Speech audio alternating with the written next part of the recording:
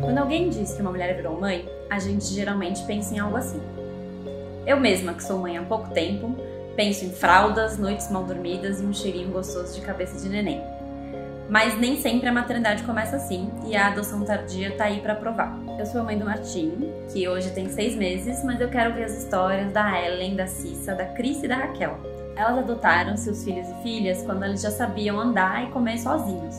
E elas vão contar pra gente cinco coisas que elas gostariam que vocês soubessem sobre adoção tardia. Mas antes, deixa sua curtida, deixa seu comentário, compartilha esse vídeo, inscreve no canal para ajudar a gente a seguir fazendo conteúdo feminista, para ajudar outras mulheres e outros pais e mães. Mãe adotiva não é nem louca, nem santa. Primeiro vem um susto das pessoas, porque elas acham que você ficou louca. Ela é louca. Ela vai arrumar mais um problema na cabeça, adotando um menino preto. 14 anos, adolescente, vai saber o que, que esse menino já fez, vai saber o que, que esse menino vai ser capaz de fazer. Eu costumo dizer que eu garanti o meu pedaço no céu sem precisar ser devota de Edir Macedo. Eu falo que eu já conquistei, porque as pessoas transformam, santificam a pessoa que adota. E eu não sou santa. Eu acho que a minha escolha pela adoção do Rafael foi uma das escolhas mais egoístas que eu já fiz na minha vida, porque assim, eu defini a idade que eu queria que meu filho tivesse, porque eu já sabia, eu tinha conhecimento suficiente é, sobre mim para saber que eu talvez não, não me daria bem num desafio com uma criança menor. Acredite, a adoção tardia pode ser a primeira opção.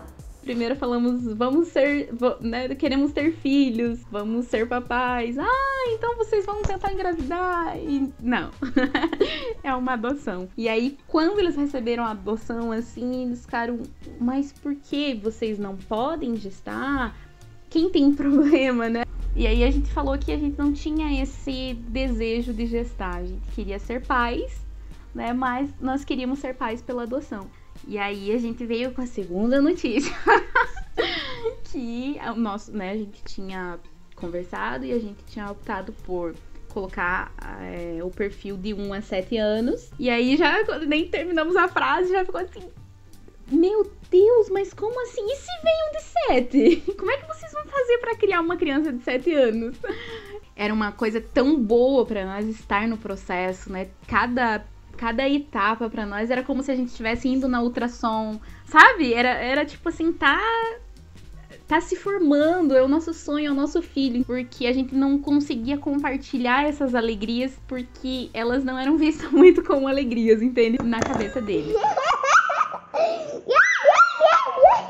Ser mãe é se relacionar com uma pessoa, não moldar uma pessoa tudo bem, apoiaram, aceitaram, mas ainda tem aquela questão de, poxa, mas por que uma criança tão mais velha? Tem o preconceito na adoção tardia de falar, ah, mas a criança já vem cheia de mania, não sei o quê.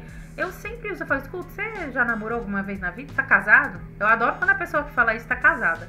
Eu falo, então você casou com alguém que não tinha mania nenhuma, a pessoa veio zeradinha, foi você que moldou, sabe? Não é, toda vez que você entra num relacionamento, seja ele qual for, qual relacionamento for, a pessoa tá trazendo uma bagagem e você tá levando a sua. Por que, que na parentalidade isso não pode existir? Por que, que a criança tem que vir zerada? Mães por adoção tardia também têm puerpério. Seja gentil.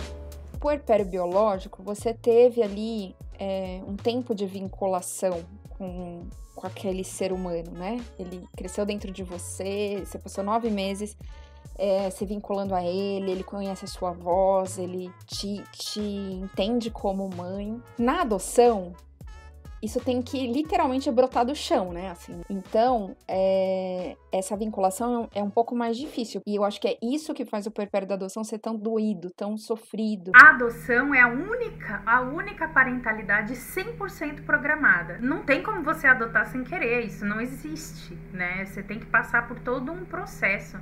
E aí, como a gente escolhe, parece que a sociedade tira o direito da gente de sentir uma frustração, de achar que tá difícil, de estar tá vivendo um caos conflituoso num puerpério adotivo, porque ele existe, é real, uma depressão pós-adoção que existe, é real, e aí a sociedade tira esse direito da gente, porque vira e fala, ah, mas você escolheu. Eu decidi isso. Mas não é porque eu decidi isso e porque eu sei disso que dói menos. A adoção não é caridade. A sociedade enxerga a, a, a adoção tardia com um viés da caridade tão grande que acha que a criança que a gente adota é um trombadinho. Você não tem medo dela levar alguma coisa quando ela voltar para abrigo? Ouvi. Ouvi. Ah, mas você já pensou que esse menino agora ele vai passar a ter direito a tudo que você tem? Ué, mas filho não tem direito a tudo que eu tenho? Mas é, a, o pensamento do esse menino, esse menino é um menino qualquer, abandonado. Esse menino, como que você vai dividir a sua vida com esse menino qualquer abandonado, né? As pessoas precisam saber sobre adoção tardia é que, cara, não tem idade. Primeiro que o termo acho que já tá errado. Não tem. Não, o tardio parece que é o que passou da hora, né? Passou do tempo e não passou do tempo, porque não tem tempo pra gente amar alguém. É isso, gente. Ouça e aprenda com as mães. E celebre cada mulher e cada maternidade sem precisar julgar as outras. Nas Minas, a gente trabalha para que todas as mulheres tenham dignidade e liberdade. E esse vídeo também é parte desse trabalho. Compartilhe ele com outros homens, com outras mulheres. Apoie nosso canal, apoie nosso trabalho no Catarse. E vem com a gente.